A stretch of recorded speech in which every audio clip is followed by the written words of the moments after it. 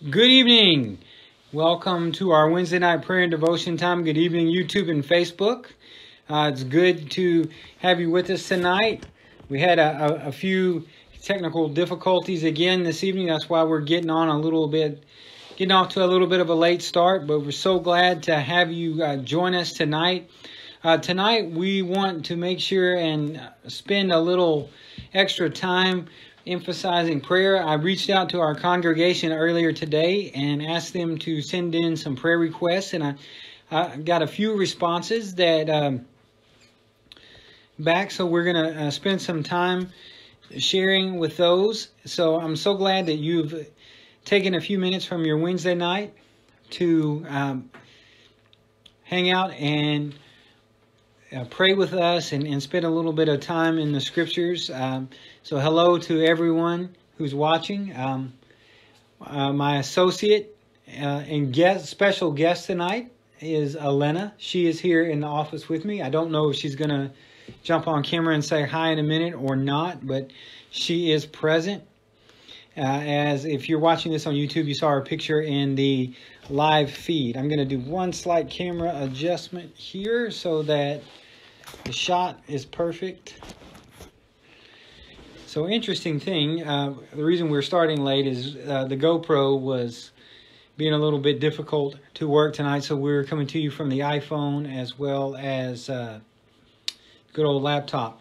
So I hope everyone is doing well because we're on the iPhone and uh, I've got a good look at the YouTube live chat. If you guys have any other prayer requests that you would like to share, um, we're I'm so happy to receive those. And um, so I hope your week's going well. Uh, it has been a, a, good week here. Oh, you coming to say hello? Hi. How are you doing, Elena? You're doing good? You can look at the camera. How? Here, you got to scoot over a little bit for the iPhone. Oui. But you're doing well? Yeah. You you having fun yeah. doing school at home? Not really. it's a challenge. Yeah, stressful. Stressful. Is there anything special that we can pray for you about tonight? Um, just for it not to be stressful later, like it, like it to get handled and everything. Um, and then not to add science and social studies. Okay. Well, but you're doing good? Yeah. That's good. You're excited for the weekend?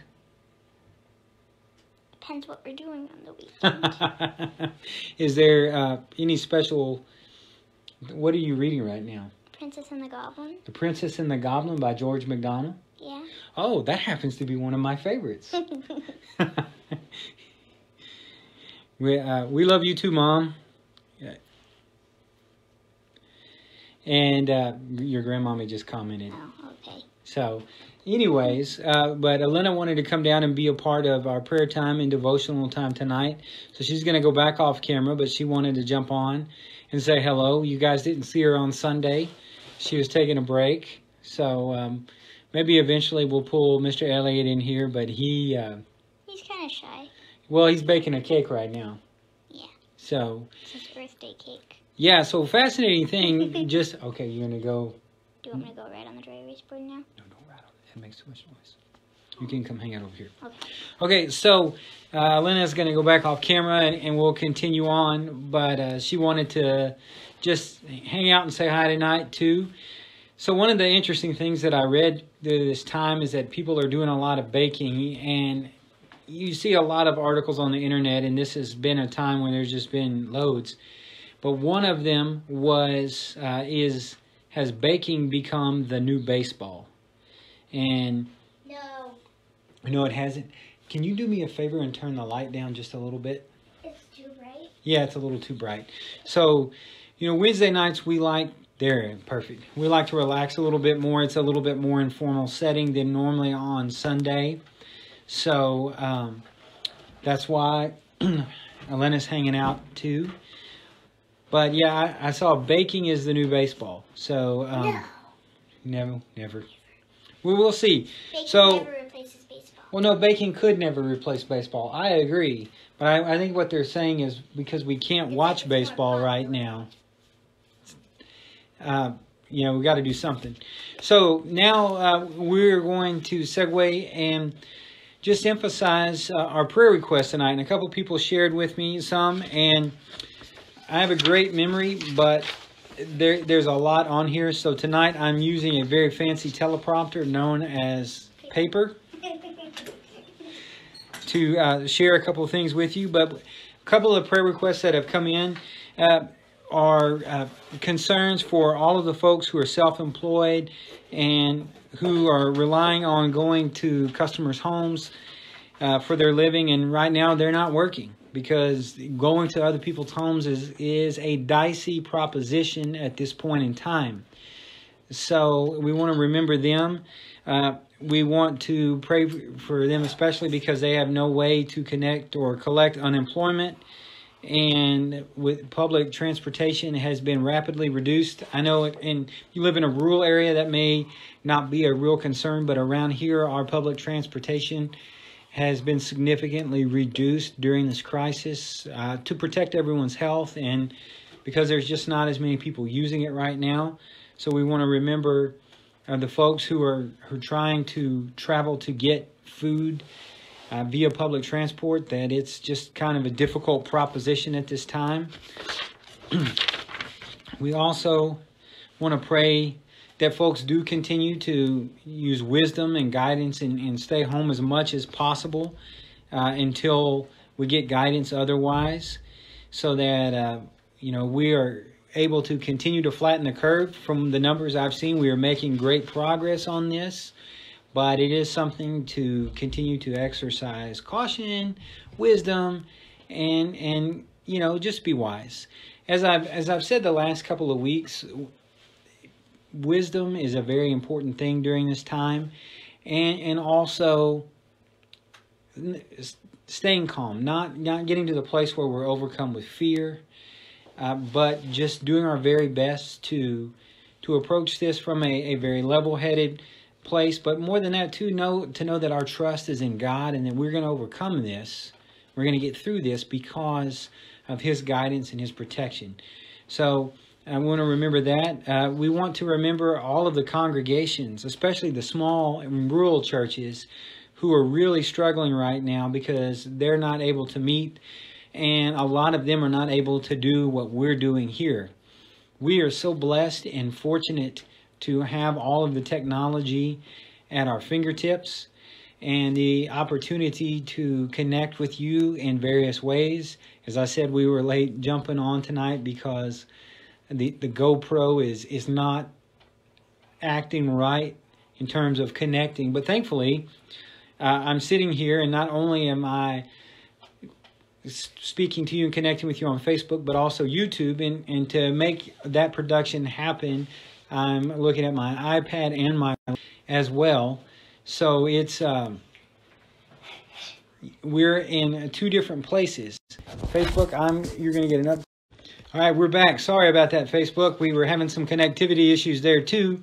But as I was saying, we are so very blessed and fortunate uh, because even though we, we've had some technical hiccups and issues throughout, you know, this various process of connecting with you, we, we've got a lot of different resources. When, if one thing acts up, we're able to jump on another device and with only a, small interruption in our service time.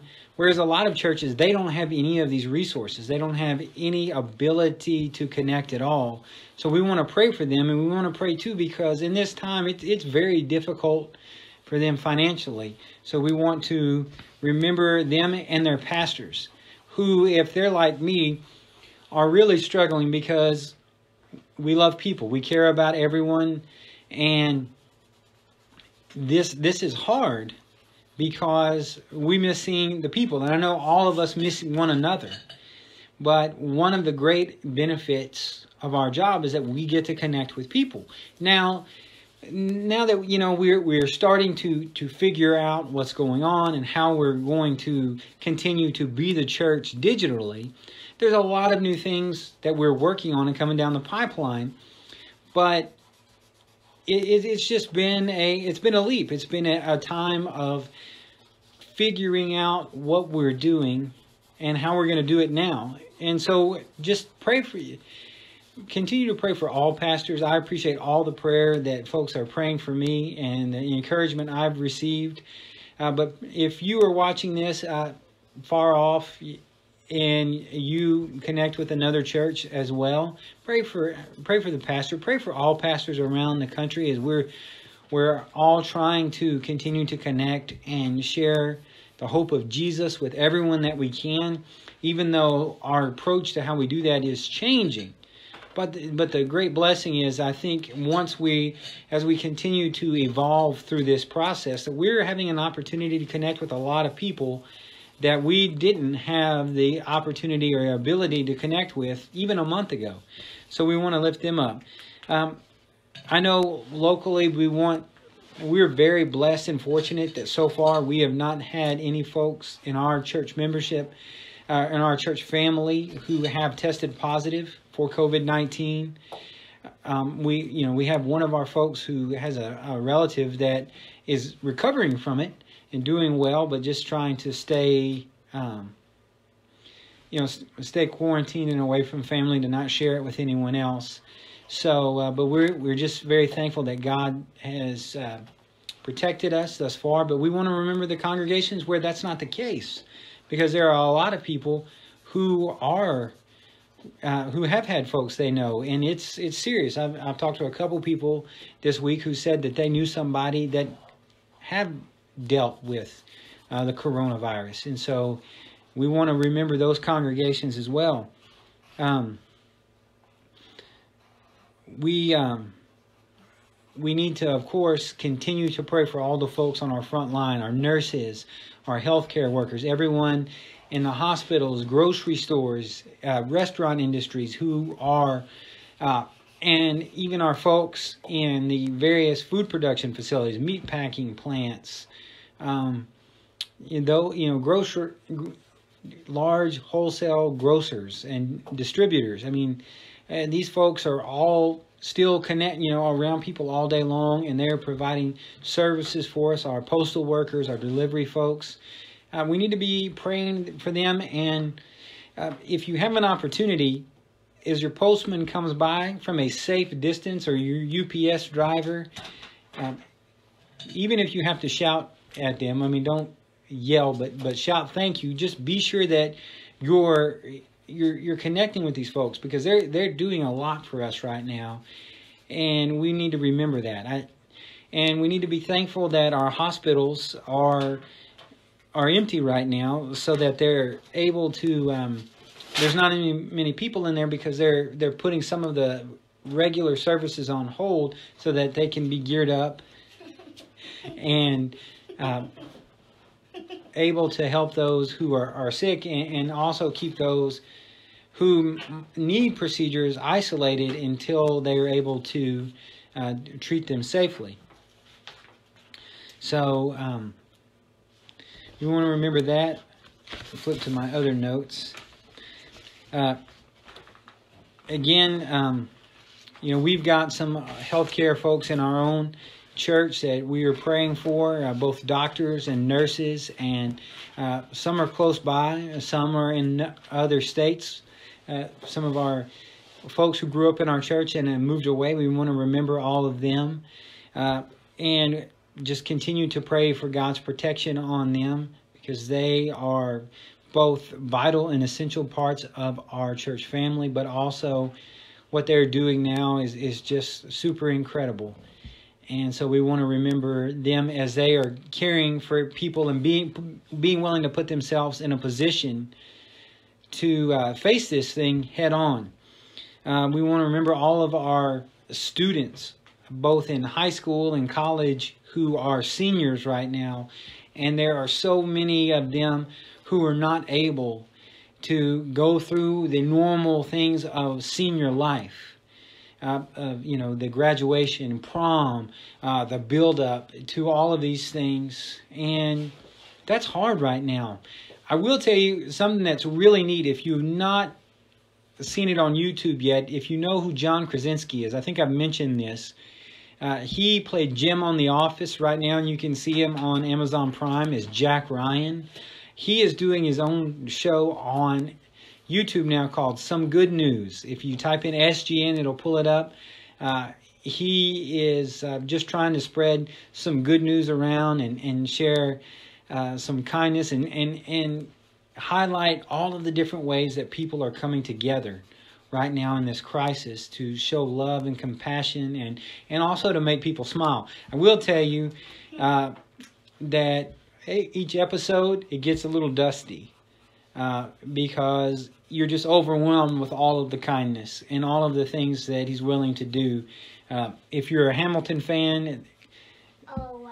yeah, Lin Manuel Miranda pops up, and the the thing he did last week is he Friday night he hosted a prom on Facebook for all of the seniors who couldn't make it. It was a short program, but he had a lot of big stars on there. So you know you you don't think about all of these things that we normally do until we can't do them, but you know, there's a lot of students who are missing their proms. There are a lot of students who are not going to get to experience high school graduation because of everything that's happened. So we want to remember them, and I encourage you to reach out to them and find ways to support them through this time. I know there are various uh, adopt a senior programs all around. Uh, if there's an opportunity for you to connect with that, I want to encourage you to do that. Um, also, I just one of our other uh, church members sent in a, a, request that we continue just to pray that we keep the faith and we hold strong in this time and and stay positive that's really tough you know i, I know that all of us have gone through the roller coaster of emotions that you know one minute we've been like okay we can get through this and other times it, it's tough. And maybe you you felt restless. I know that's something that we've dealt with is just being ready to get back to life as we know it. I do believe that day is going to come. I'm not sure when it's going to come but i believe it's coming. And, and as i've said before good news is is on the way and in this time one of the biggest things that we need to do is put our faith and our hope in God and realize that is it's that's the strength that's going to get us through. And I, am going to share some more about this Sunday morning uh, in my sermon, but I want to talk with you a little bit of what how God is opening doors even in the midst of all of this. And, and so stay tuned for that, but but I want you to know while we're all feeling restless, there are some really good things that God is is at work doing, and God's at work doing those things in you. So, um,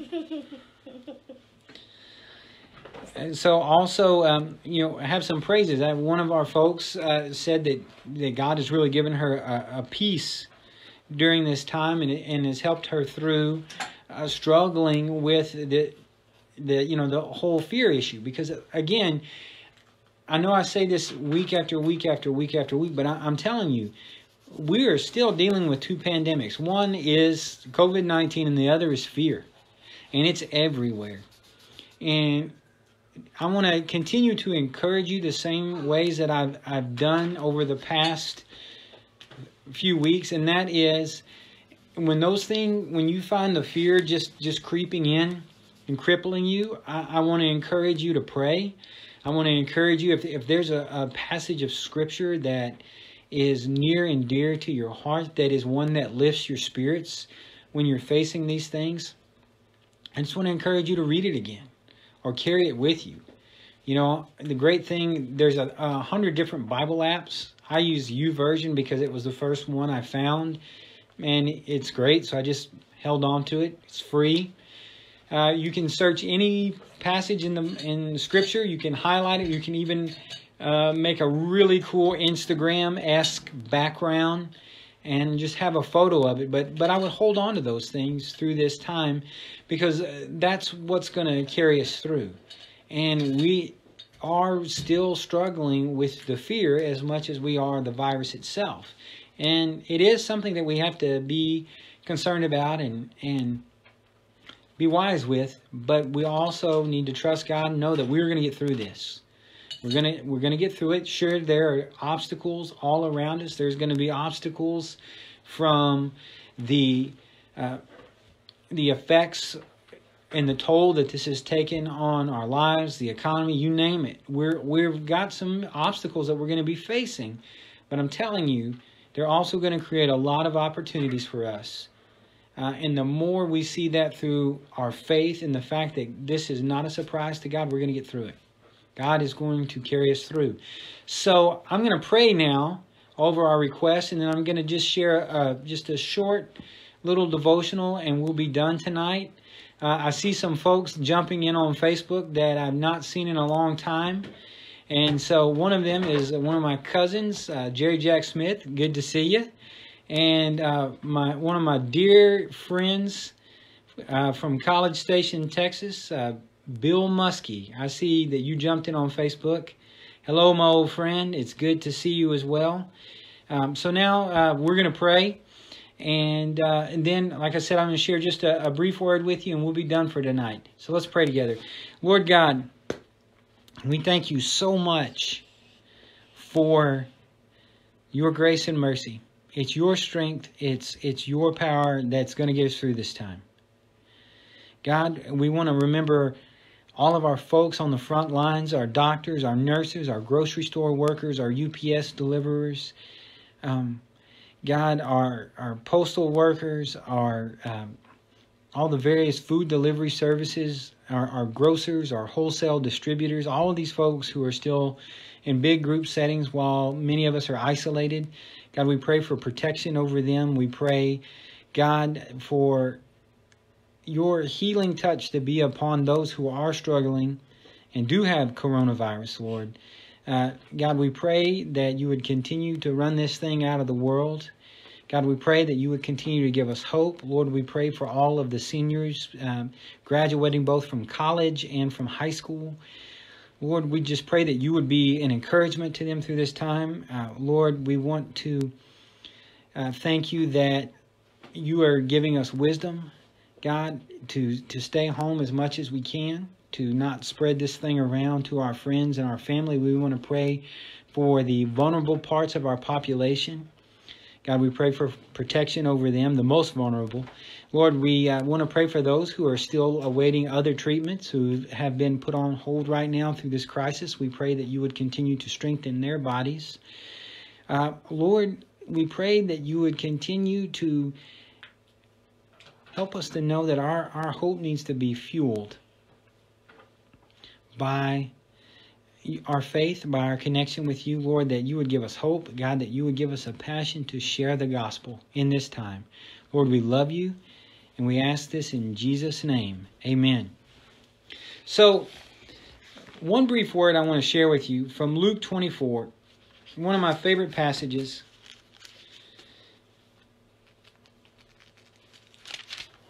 It comes from where Jesus appears to the disciples on the or the two guys, two of his disciples on the road to Emmaus. This is Luke 24 verses 36 and following where he says 30 36 through 49 says while they were still talking about this Jesus himself oh got ahead of myself sorry Luke 24 13 through 35. Now, that same day, two of them were going to a village called Emmaus, about seven miles from Jerusalem. They were talking with each other about everything that had happened.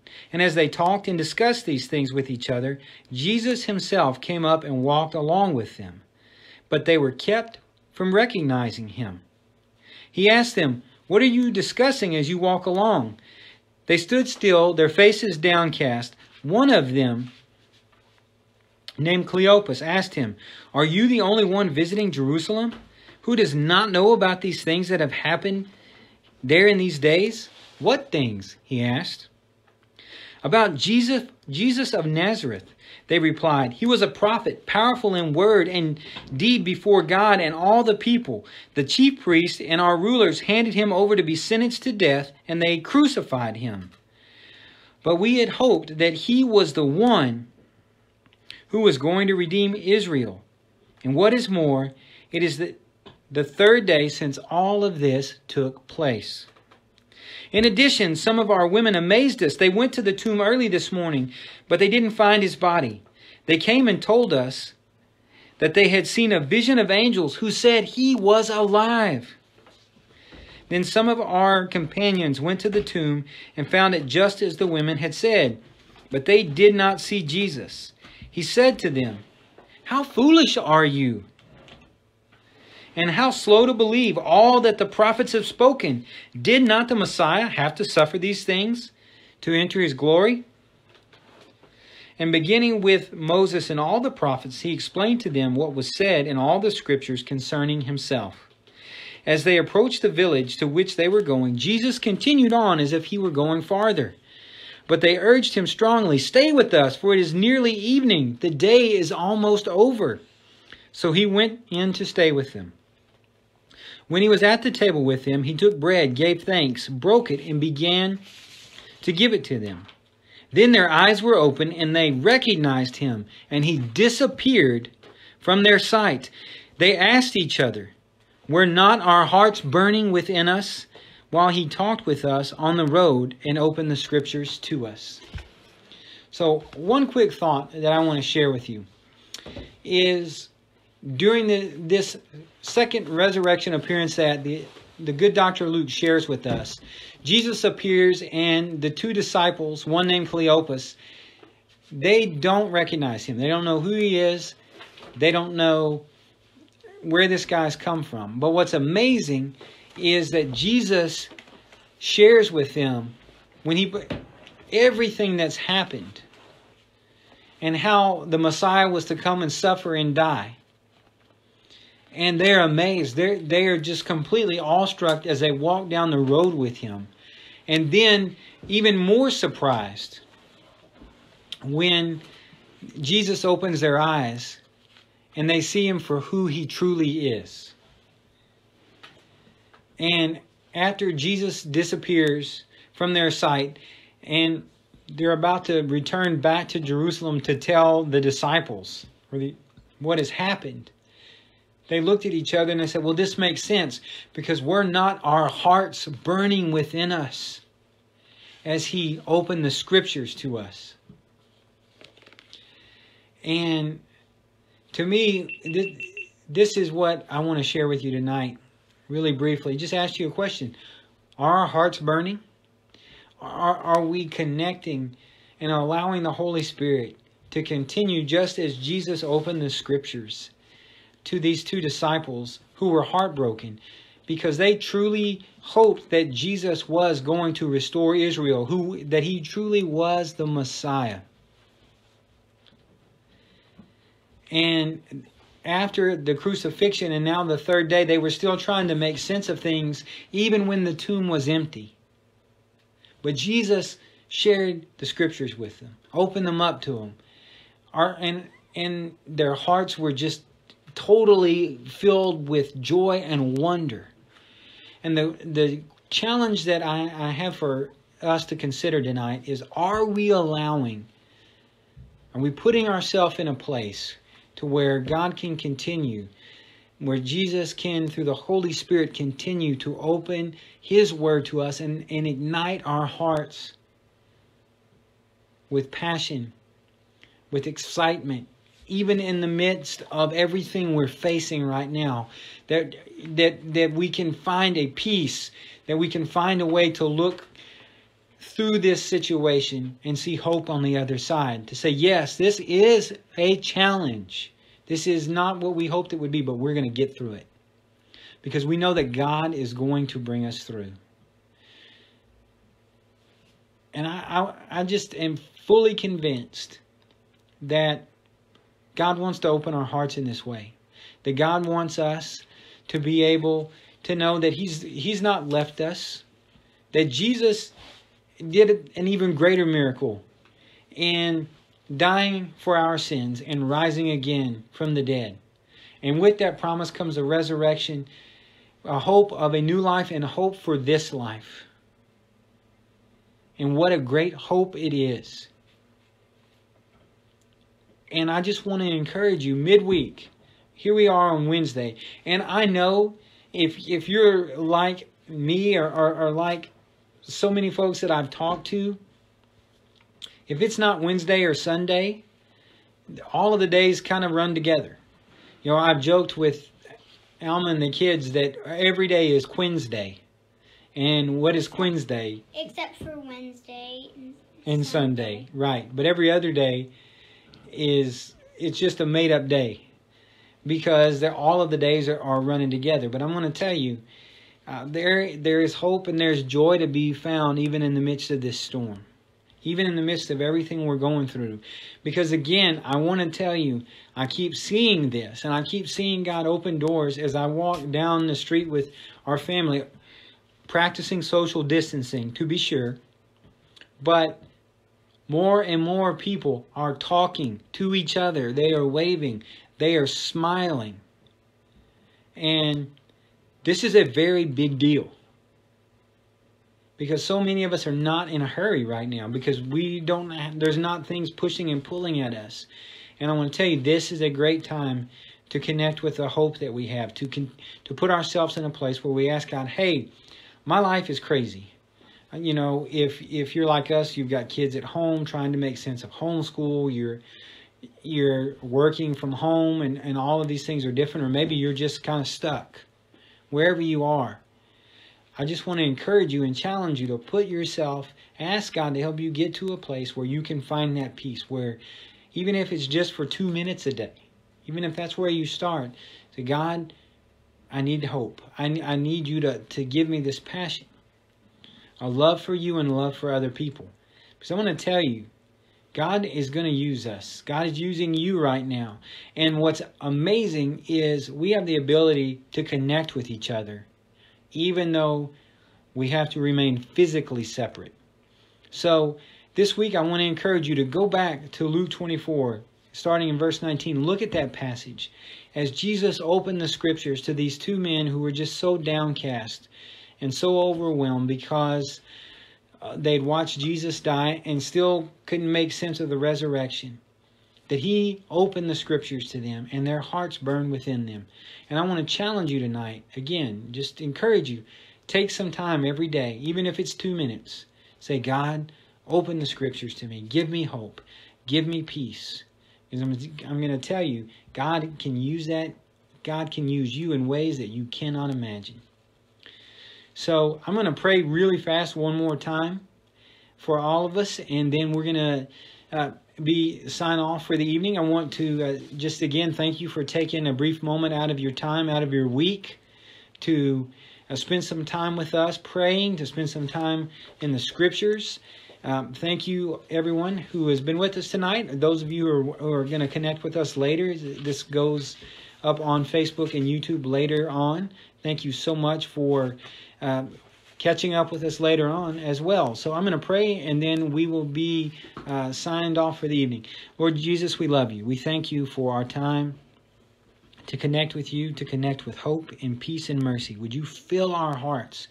Would you ignite a passion for you, Lord, that other people can see in us, even if it is through FaceTime? Even if it is through a text or a Facebook post, they can see, God, that you are at work in our lives God, and, and it might ignite curiosity in their hearts, that you might turn them back to you. Because the greatest healing we need, Lord, is not simply to be rid of this awful virus, but God, to be and, and and our greatest healing is not even to be rid of all the fear going around it too. We need those things.